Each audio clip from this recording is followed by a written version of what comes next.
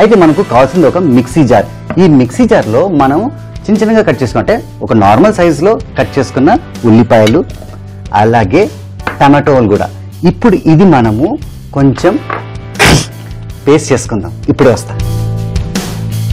చూసారా ఎంత చక్కటి పేస్ట్ తయారైందో? ఇప్పుడు ఒక బాండీలో మనం కొంచెం ఆయిల్ వేసుకోవాలండి. ఆయిల్ అంటే కొంచెం తక్కువ కాదు కొంచెం ఎక్కువ వేసుకోవాలి.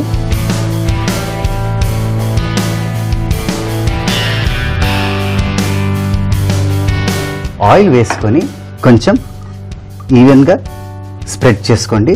స్ప్రెడ్ చేసుకొని ఇందుట్లో కొంచెం జీరా వేసుకొని లైట్గా సాటే చేసుకోండి. చూసారా? ఆ జీరా ఎంత చక్కగా అందుట్లో బబుల్స్ వస్తున్నాయి. అండ్ ఇందుట్లో జింజర్ గార్లిక్ పేస్ట్. అలా సాటే చేసుకుంటూ ఇందుట్లో గ్రీన్ చిల్లీస్. తర్వాత ఇందులో ఇంగువ. ఆహా. ఆ ఇంగువతో ఎంత బ్యూటిఫుల్ స్మెల్ వస్తుంది చూసారా? ఇప్పుడు ఇందులో కొంచెం పసుపు అలాగే కొంచెం కారం. కొంచెం డైనమైట్లో ఉండాలి కదండి. మనం చేసేది మిసైల్ పావు కదా సో కొంచెం కారం ఎక్కువ పడినా పర్వాలేదు. దీంట్లో కొంచెం కస్తూరి మేతి కసూరి మేతి వేసి కొంచెం మంచిగా సాటే చేసుకోండి. చేసుకున్న తర్వాత ఇందుట్లో కొంచెం ఉప్పు. కొంచెం ఎక్కువ వేద్దాం. ఎందుకంటే మనము దీంతో పాటు ఇందాక తయారు చేసుకున్న టమాటో పేస్ట్ అంటే ఉల్లిపాయలు టమాటో వేసి పేస్ట్ చేసుకున్నాం కదా అది ఇందుట్లో వేసుకుందాం. సో ఒక స్పూన్ తీసుకొని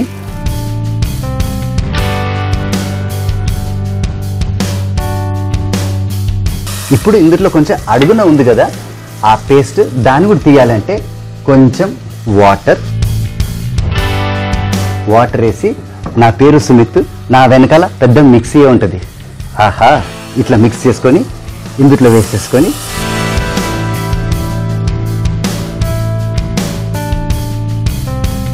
ఇలా మిక్స్ చేసుకున్న తర్వాత ఇప్పుడు ఈ మూతని ఇక్కడ పెట్టేయండి.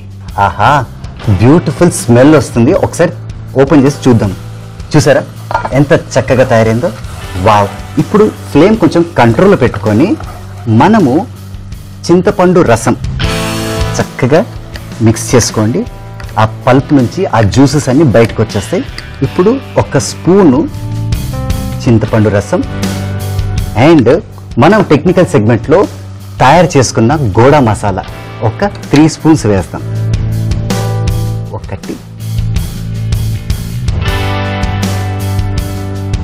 మూడు. వేసుకొని ఇది కూడా మంచిగా కలుపుకోండి. అండ్ ఇప్పుడు ఏదైనా ఒక పల్స్ వేయండి. అంటే యూజువల్గా మట్టికి లేదా మూంగాలు వేస్తారు ఈరోజు నేను బఠానీలు వేస్తాను ఆ బఠానీలు కూడా మంచిగా సోక్ చేసుకొని బాయిల్ చేసుకున్నాను. అండ్ ఇందుట్లో మనం సగానికి సగం ఇందుట్లో వేసేస్తాం.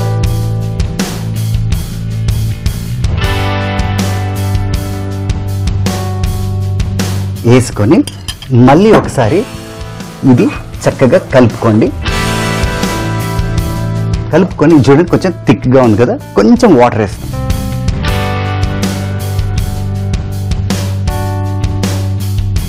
ఇప్పుడు ఈ వాటర్ వేసిన తర్వాత ఫ్లేమ్ కొంచెం హై చేసుకొని ఇలా మిక్స్ చేసుకున్న తర్వాత దీని మీద మళ్ళీ మూత పెట్టుకోండి. మూత పెట్టుకొని ఒక సిక్స్ మినిట్స్ మనము మంచిగా కుక్ చేస్తే అంటే లోపల ఉన్న మిశ్రమం అంతా చక్కగా కలిసిపోతుంది. అప్పుడు మిసైల్ పావుకి కావాల్సిన గ్రేవీ రెడీ అయిపోతుంది.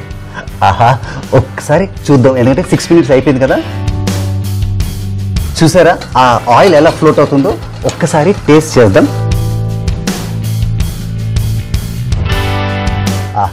బ్యూటిఫుల్ ఉంది. కొంచెం ఉప్పు వేసుకుంటే హైలైట్ ఉంటుంది. చాలు వేసుకొని ఒకసారి మళ్ళీ తిప్పుకుందాం. ఇప్పుడు ఇది ఆఫ్ చేసేసుకోవచ్చు. తిప్పుకున్న తర్వాత ఇప్పుడు అసలు డ్రామా. ఈ ప్లేట్లో ఒక ఎంటీ ప్లేట్లో ఫస్ట్ మనం కొంచెం మిక్స్చర్ వేసుకుందాం. మిసల్ పావ్ అంటే ఇదే హైలైట్ అండి. కొంచెం మిక్స్చర్ కొంచెం ఉసలు. అలాగే ఈ మిక్స్చర్తో పాటు కొంచెం బూందీ కూడా.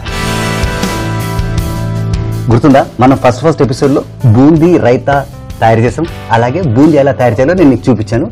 ఇప్పుడు దీన్ని జాగ్రత్తగా ఇక్కడ పెట్టేసుకొని చక్కగా కలుపుకుందాం. ఆహా! ఎంత చక్కగా తయారని చూడండి. ఆయిల్తో పాటు కొంచెం అలా తీసుకొని ఇలా వేస్తాం. సూపర్ కదా? ఈరోజు మన ఎపిసోడ్లో వడపావ్ మిసైల్ పావ్. ఎంత చక్కగా తయారు చేసామో మీరు చూశారు కదా? బ్యూటిఫుల్గా వచ్చింది. అండ్ దీన్ని మనం బ్యూటిఫుల్గా కొంచెం గార్నిష్ చేసుకుందాం. వేసుకున్న తర్వాత అలాగే కొంచెం కొత్తిమీర పెట్టేసి పావు ఉంది కదండి దాన్ని ఇలా ఈ పావు ఇలా పెడదాం. ఒక beautiful missile pav ready misal pav తయారు చేయ విధానం. ముందుగా ఒక మిక్సీ జార్ తీసుకొని అందులో కట్ చేసిన ఉల్లిపాయలు టమాటాలు ముక్కలు వేసి పేస్ట్ తయారు చేసుకోవాలి. ఆ తర్వాత ఒక బాండీలో కొంచెం ఆయిల్ వేసి జీలకర్ర అల్లం పచ్చిమిర్చి ఇంగువ పసుపు కారం కసూరిమేతి ఉప్పు మిక్సీలో వేసుకున్న మిశ్రమాన్ని వేసి బాగా కలుపుకోవాలి. తర్వాత చింతపండు రసం గోడ మసాలా బఠానీ వేసి కలుపుకొని ఒక ఆరు నిమిషాలు ఉడికించాలి. తర్వాత ఒక ప్లేట్ తీసుకొని అందులో కొంచెం మిక్స్చర్ బూంది మరియు ఉడికించిన మిశ్రమాన్ని వేసి పైన సేవ్ కొత్తిమీర మరియు బన్ పావ్ గార్నిష్ చేసుకుంటే మిసల్ పావ్ రెడీ